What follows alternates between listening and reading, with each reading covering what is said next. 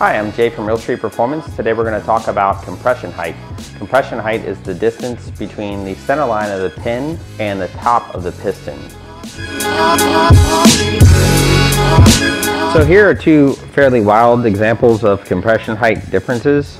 Uh, compression height is going to be determined by the stroke of the crank, the length of the rod, the deck height of the block.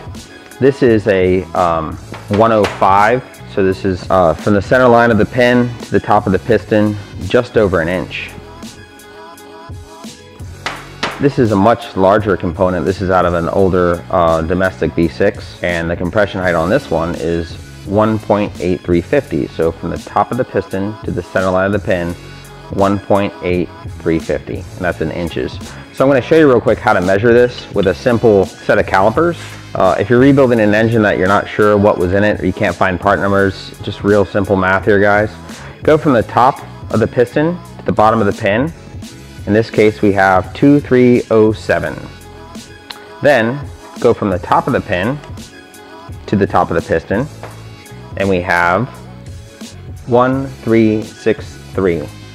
So when you add those two dimensions up and you divide them by two, will give you the compression height. In this case, this is 1.8350.